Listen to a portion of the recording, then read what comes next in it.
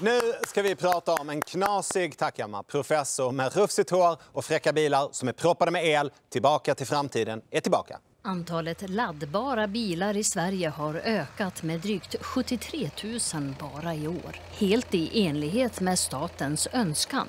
Det är över 70 procents ökning. För att påverka konsumenterna hit har klimatbonus betalats ut Japp, politikerna driver på utvecklingen så att allt fler bilar inom kort ska gå på el. Ännu en loska i ansiktet på elallergikerna. Och det tycker jag är härligt. Men hur snart pratar vi om? När tror ni att det säljs fler elbilar i Sverige än fossilbilar?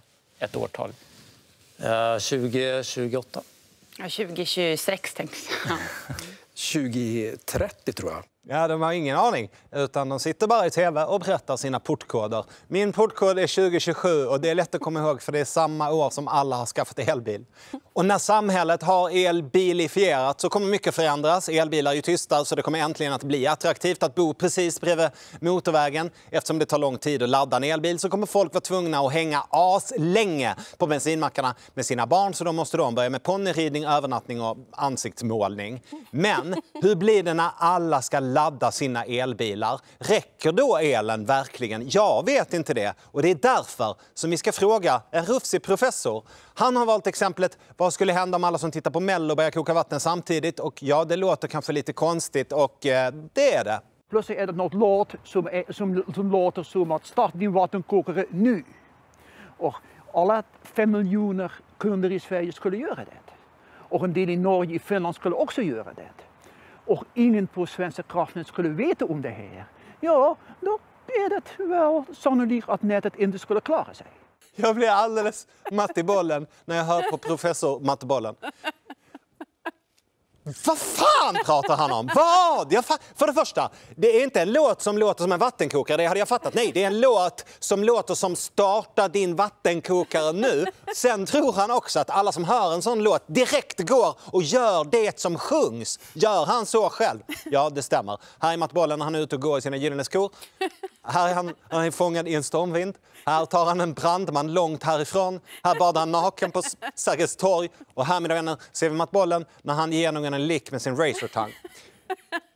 Det är ett väldigt hypotetiskt scenario som professor målar upp som också är beroende av att melloartister helt plötsligt börjar sjunga om att sätta på vattenkokare. Men poängen är skrämmande i alla fall. För att om alla behöver massor av ström samtidigt så kan det bli problem. Till exempel, det blir en köldknäpp, alla startar sina värmefläktar samtidigt. Eller alla kommer hem från jobbet ungefär samtidigt och sätter sin bil på laddning. Eller naturligtvis det som ju också kan hända, Plötsligt är det något låt som, är, som, som låter som att starta din vattenkokare nu.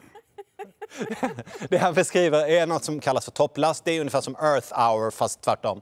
Det finns en timme varje år som kallas för topplasttimme. Det kan vara en kall dag vid klockan fem då folk kommer hem från jobbet och sätter igång en massa el.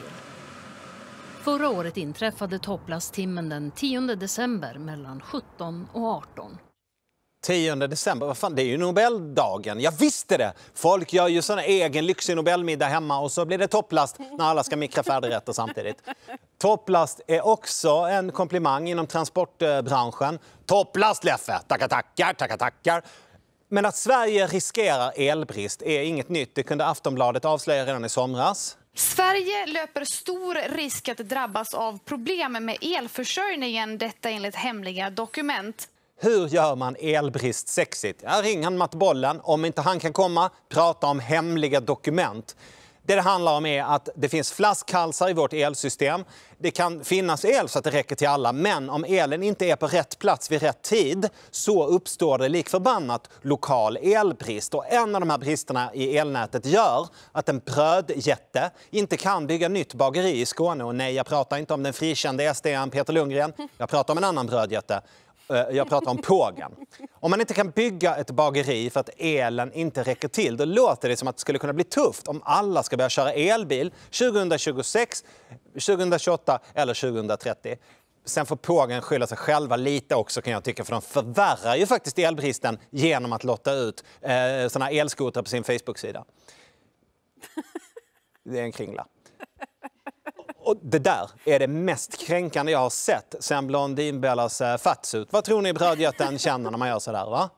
regeringen får oss också att byta till elbilar. Men de verkar samtidigt inte vara säkra på att vi kommer kunna ladda dem. Är det här regeringens plan? Är det deras drömbil? Att vi köper den, betalar moms och sen fordonsskatt, men det går inte att köra med den.